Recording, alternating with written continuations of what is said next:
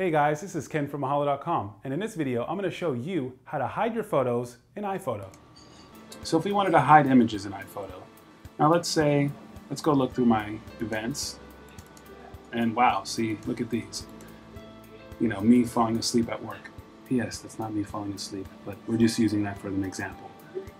So I want to hide these from the boss. If you know he comes by and checks my computer, there's Kenny falling asleep. Well, I can do that one of two ways.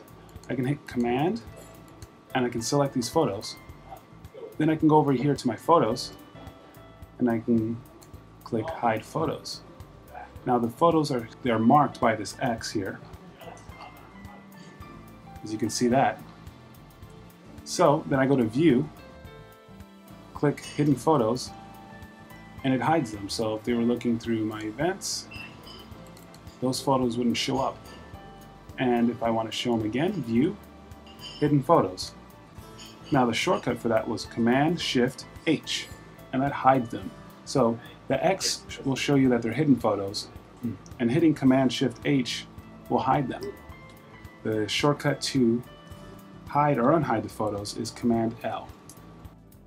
Another good example, if you have a boyfriend or girlfriend and you just broke up but you can't find it in your heart to hit the delete button, you can hide it.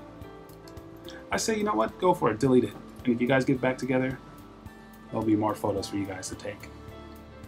That's the basics of hiding your images in iPhoto. If you guys have any requests for tutorials, go ahead and send them to request at mahalo.com. Thanks for watching.